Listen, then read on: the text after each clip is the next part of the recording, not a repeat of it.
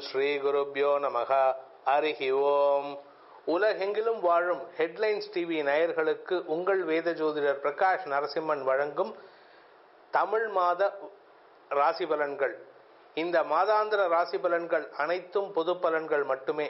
திருக்கணித பஞ்சாங்க முறைப்படி கணிக்கப்பட்டுள்ள இந்த பலன்கள் உங்களுக்கு சாதகமாகவோ பாதகமாகவோ நடந்திட உங்களுடைய ஜனனகால ஜாதகம் மற்றும் தசாபக்திகள் துணை நிற்க வேண்டும். இந்த மாதாந்திர ராசி பலன்கள் சொல்லக்கூடிய வகையில் பார்த்தீங்கன்னா முதல்ல நம்ம கிரக நிலவரத்தை தெரிஞ்சுக்கணும்.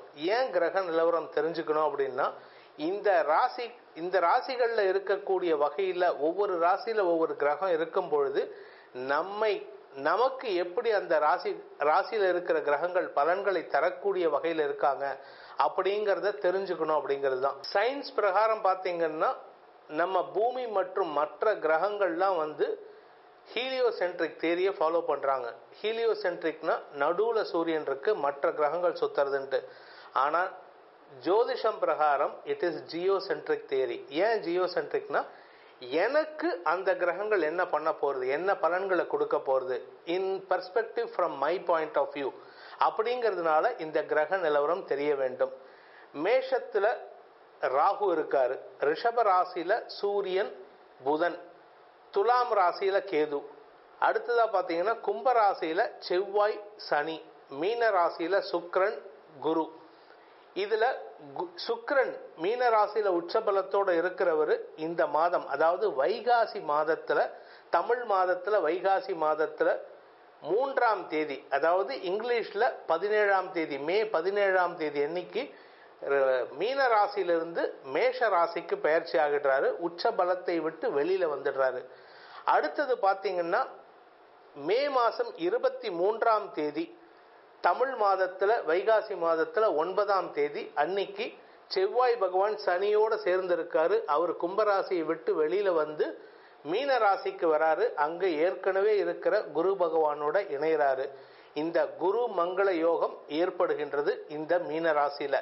இந்த குருமங்கள யோகம் ஒவ்வொரு ராசிக்கும் என்னென்ன பலாபலன்களை தரப்போறது மற்ற கிரகங்கள் என்ன பலாபலன்களை தரப்போறாங்க அப்படிங்கிறது தான் இப்போ நாம் தமிழ் மாத ஜோதிடத்தில் பார்க்க போகிறோம். சுபகிருது வருடம் வைகாசி மாதத்திற்கு உண்டான பலாபலன்களை உங்கள் ராசிக்கு இப்பொழுது பார்ப்போம். அன்பார்ந்த மீன ராசி நண்பர்களுக்கு வைகாசி மாதம் சுபகிருது வருடத்தில் உங்களுக்கு என்ன பலன்கள் கிடைக்கப் போகின்றது அப்படிங்கிறது தான் இப்போ பார்க்க போகிறோம் வைகாசி மாதம் அப்படிங்கிறது வந்து மே மாதம் பதினைந்தாம் தேதி முதல் ஜூன் மாதம் பதினான்காம் தேதி வரை.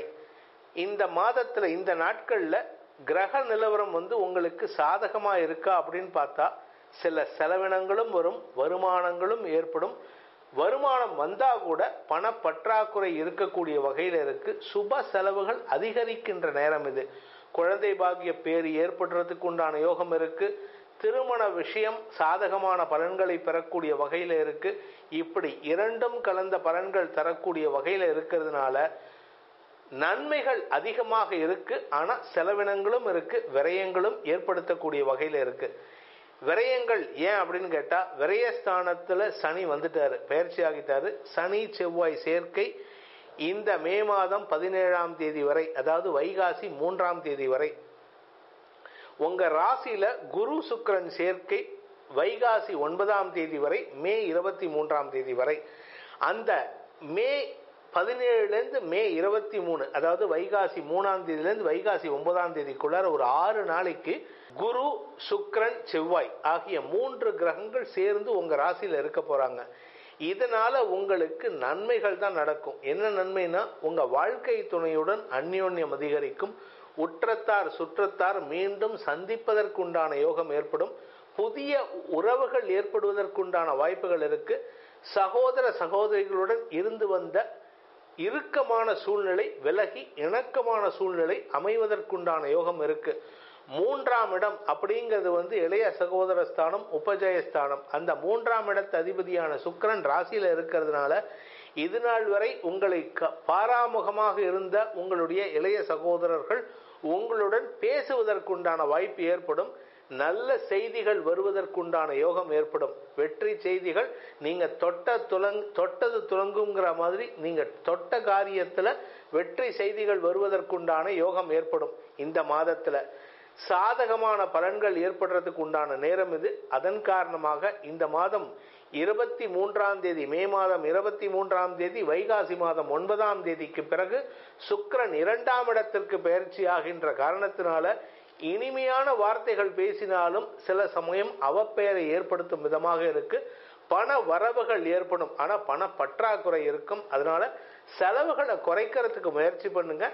வீண் விரயங்கள் ஏற்படுறதுக்கு உண்டான வாய்ப்புகளும் இருக்கு. அதே சமயம் சுய தொழில் செய்பவர்களுக்கு பாக்கியஸ்தானத்துக்கு குரு பார்வை இருக்கிறதுனால தொழிலுக்கு உண்டான முதலீடுகள் செய்யக்கூடிய வாய்ப்புகள் ஏற்படுறதுனால அபரிமிதமான லாபம் வருமோ இல்லையோ அபரிமிதமான முதலீடுகள் செய்யும் நேரம் இது. அதுக்காக உடனே எடுத்த உடனே கடன் வாங்கி முதலீடு செய்யாதீங்க. நீங்க சேர்த்து வைத்த பணத்தை மட்டுமே முதலீடு செய்யுங்கள். உங்களுடைய ஆறாம் இடம் அப்படிங்கிறது வந்து சிம்ம ராசி. சிம்ம ராசிக்கு சனி பார்வை இருக்கிறதுனால உங்களுடைய கடன் சுமை அதிகரிக்கும் வாய்ப்புகள் ஏற்படுறது. அதனால கடனை குறைச்சிக்கிறதுக்கு வழி பாருங்க. இந்த கடன் அதிகரிக்கிறதுனால நமக்கு லாபம் வந்துடும் நினச்சிடாதீங்க. குறிப்பாக கடன் வாங்கி யாருக்கும் தானம் கொடுத்துடாதீங்க நீங்கள் கொடுத்தா அந்த பணம் திரும்பி வராது. அதே சமயம் இந்த விரயஸ்தானத்துக்கு சனி வந்திருக்கிறதுனால யாருக்கும் ஜாமீன் கையெழுத்து போட்டுறாதீங்க. பேங்க் லோன் வாங்கினாலோ பர்சனல் லோன் வாங்கினாலோ யாராவது கேட்டாங்கன்னா உடன் பிறந்த சகோதரர்களை தவிர வேறு யாருக்கும் ஜாமீன் கையெழுத்து போட்டுறாதீங்க. ஜாமீன் கையெழுத்து போட்டீங்கன்னா அவங்களுடைய கடனை நீங்க அடைக்கிற மாதிரி வரும். அடுத்த அஞ்சு வருஷத்துக்குள்ளார. இந்த மாசத்தை பொறுத்த வரைக்கும் குழந்தைகள் மூலமாக நல்ல செய்திகள் வரும். குழந்தைகளால் ஆதாயம் ஏற்படும். வியாபாரிகளுக்கு வளர்ச்சி ஏற்படும். வியாபாரம் செழிப்படையும். வியாபார இடமாற்றம் ஏற்படுவதற்கு வாய்ப்பு இருக்கு. இப்படி நல்ல விஷயங்கள் நடக்கிறதுக்கு உண்டான யோகமான காலகட்டம் இப்பொழுது. நல்லதும் சொல்கிறேன் கெட்டதும் சொல்கிறேன் எது உங்களுக்கு நல்லதோ இருக்கோ அதை மட்டும் எடுத்துக்கோங்க. கெட்டதை தெரிஞ்சு வச்சுக்கோங்க சங்கடத்தை தெரிஞ்சு வச்சுக்கோங்க. சங்கடம் வரும்பொழுது மனசை தளர விடாமல் பார்த்துக்கிறது நல்லது. இரண்டாம் இடத்திற்கு சனி பார்வை இருக்கிறதுனால பேச்சை தொழிலாக கொண்ட வழக்கறிஞர்கள் ஆசிரியர்கள் அரசியல் துறை சார்ந்தவர்களுக்கு இடக்கு முடக்கான வார்த்தைகள் வருவதற்குண்டான வாய்ப்புகள் இருக்கிறதுனால நிதானமாக பேசுங்க. யாருக்கும் வாக்குறுதி கொடுத்து அதை செய்ய முடியாத சூழ்நிலையை அமைத்துக் கொள்ளாதீர்கள். வாக்கு கொடுத்துட்டீங்கன்னா தலையை அடமான வச்சாவது பண்ணணும்னு நினச்சிக்கோங்க. ஆனால் சனி விரயத்தில் இருக்கிறதுனால தலையை அடமான வச்சாலும் பண்ண முடியாத சூழ்நிலை இருக்குது சனி பார்வை உங்களுடைய பாக்கியஸ்தானத்துக்கு இருக்கு. பாக்கியஸ்தானம்ங்கிறது வந்து தந்தையின் ஸ்தானம் தந்தையின் ஆரோக்கியத்திற்காக செலவுகள் ஏற்படுகின்ற வாய்ப்புகள் இருக்கு. தந்தையின் சொத்து சம்பந்தப்பட்ட விஷயங்களுக்காக பூர்வீக சொத்து சம்பந்தப்பட்ட விஷயங்களுக்காக நீங்கள் எடுக்கக்கூடிய முயற்சிகள் வந்து வீண் விரயத்தை ஏற்படுத்தும். அதனால இப்பொழுது அதற்குண்டான முயற்சிகளை தள்ளி வைப்பது நல்லது. தந்தை அப்படின்னா உங்களுக்கு செலவு இருக்குது தாயாருக்கு பார்த்தீங்கன்னா நான்காம் இடத்த அதிபதி மூன்றாம் இடத்துல மறையறதுனால உங்களுடைய தாயாரின் ஆரோக்கியம் ஒரு சின்ன சங்கடத்தை சந்திக்குமே தவிர அவருக்கு மருத்துவ செலவுகள் இப்போதைக்கு இல்லை. அதனால நீங்க கவலைப்பட வேண்டாம். இரண்டாம் இடத்திற்கு அதிபதியான செவ்வாய் ராசியில இருக்கிறதுனாலையும் குருவோட சேர்ந்து குருமங்கள யோகத்தை ஏற்படுத்துறதுனாலையும் உங்களுக்கு தலைமை பண்பை வளர்த்து கொள்வதற்குண்டான யோகம் ஏற்படுகின்றது.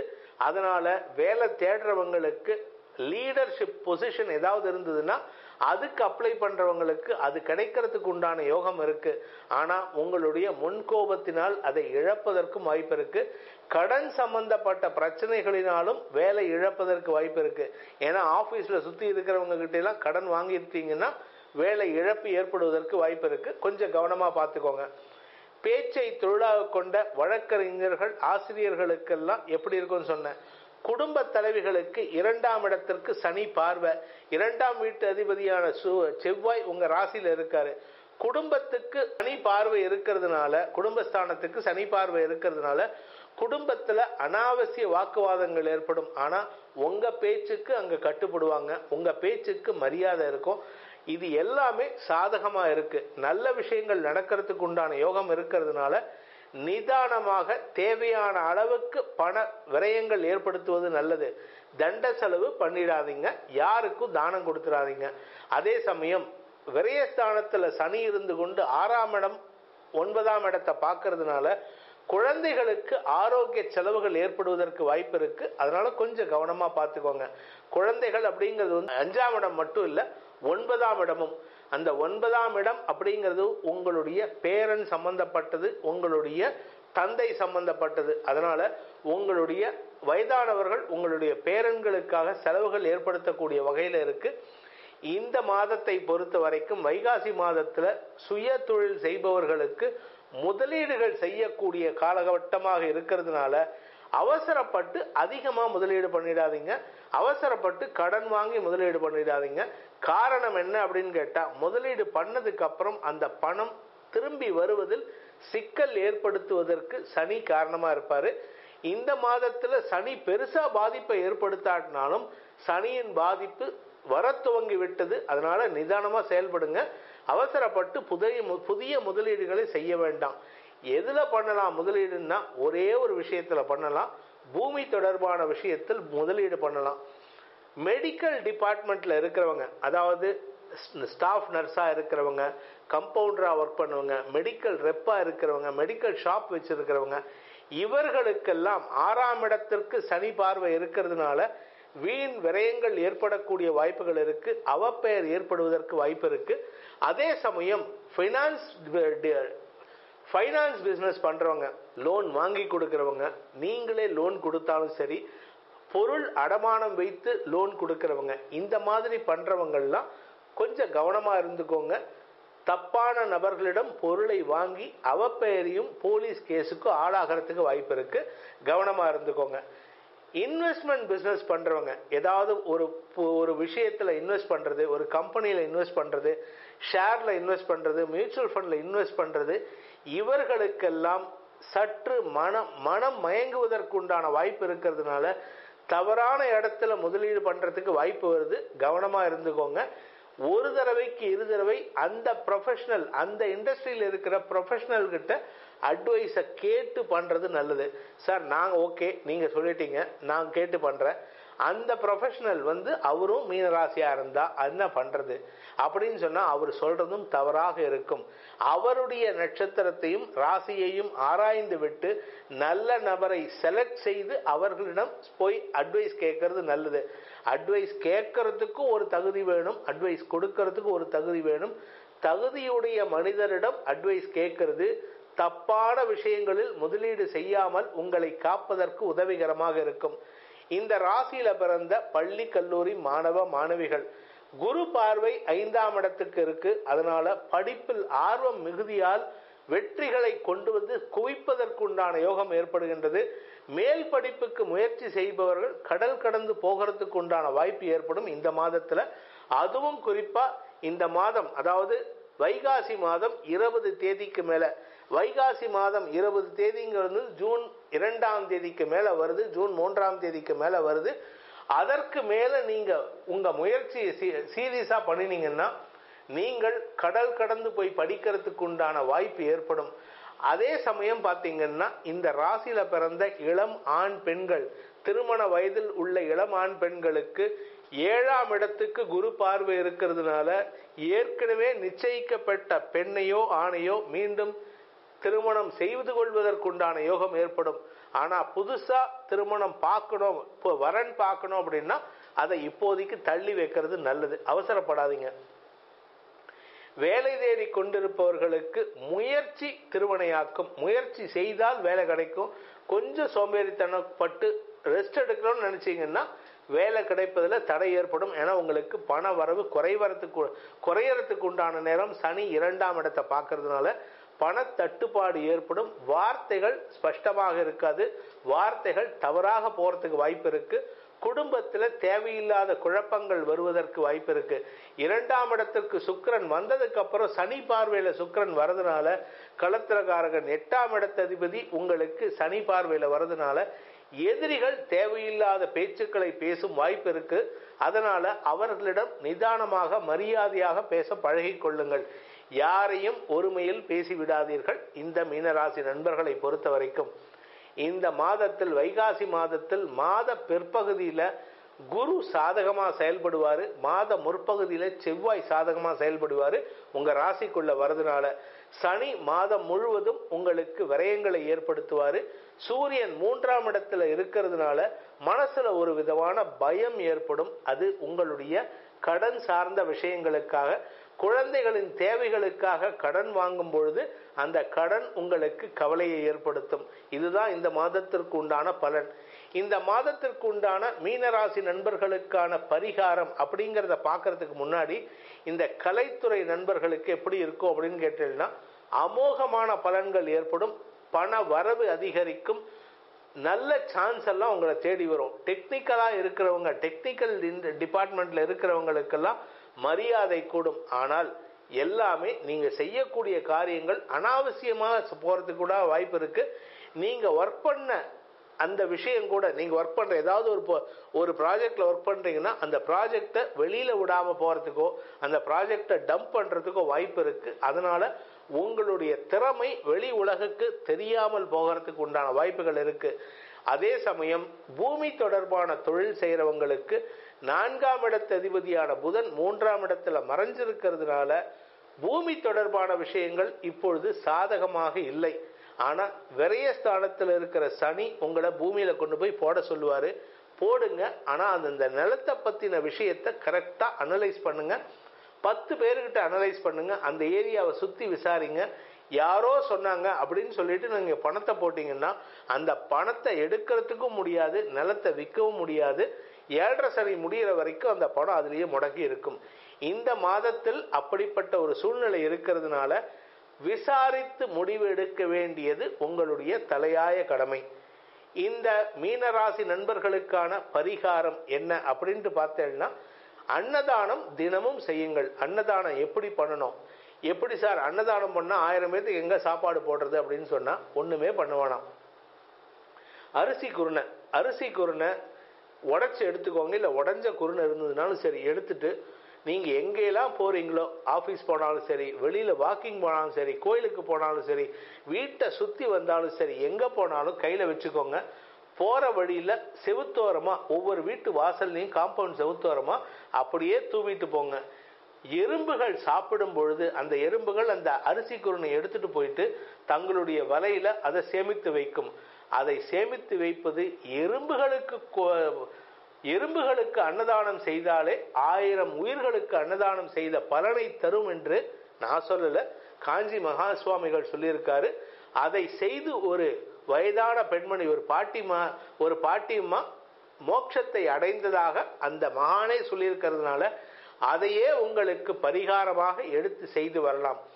இதை தவிர அடுத்தது என்ன பண்ணணும் அப்படின்னா சனி பாதிப்பு விரயங்கள் ஏற்படாமல் இருப்பதற்கு தினமும் அதிகாலை சூரிய உதயத்திற்கு முன் அஞ்சரை மணிலேருந்து ஆறு மணிக்குள்ளார சூரிய உதயம் ஆறு மணினா ஆறு மணிக்குள்ளார. அஞ்சே முக்காலுக்குள்ளேனா அஞ்சே முக்காலுக்கு முன்னாடியே எழுந்திருச்சு ஒரு கை அளவுக்கு கோதுமை மாவை போட்டு அதில் கொஞ்சூண்டு உப்பு ஒரு சிட்டிகை போட்டு தண்ணியை விட்டு கொஞ்சூண்டு நெய்யை விட்டு நல்லா மாவு பிசையுங்க. சப்பாத்தி மாவு மாதிரி பிசையணும். அதை சீடைக்கு உருட்டுற மாதிரி சின்ன சின்ன உருண்டைகளாக உருட்டி காகங்களுக்கு காக்கைகளுக்கு அதை அன்னமாக போட வேண்டும் சூரிய உதயத்திற்கு முன் செய்ய வேண்டும். இதை செய்வதன் மூலமாக பித்ருக்களின் ஆசீர்வாதமும் கிடைக்கும் சனி பிரீத்தியும் உண்டாகும் என்பதை சொல்லி உங்கள் அனைவருக்கும் விரைய சனியின் பாதிப்புகள் குறைய வேண்டும் லாபங்கள் பெருக வேண்டும் பண தட்டுப்பாடுகள் விலக வேண்டும் எனும் அடியனின் பிரார்த்தனையை அந்த பரம்பொருளின் பரிபூர்ண கிருபாகடாட்சம் கிட்ட வேண்டும் எனும் அடியனின் பிரார்த்தனையை அவரின் பாதார விந்தங்களில் சமர்ப்பித்து உங்கள் அனைவருக்கும் நல்வாழ்த்துக்களை தெரிவித்துக் கொண்டு உங்களிடமிருந்து விடைபெறுவது உங்கள் வேத ஜோதிடர் பிரகாஷ் நரசிம்மனின் அன்பு வணக்கங்களுடன். நன்றி வணக்கம்.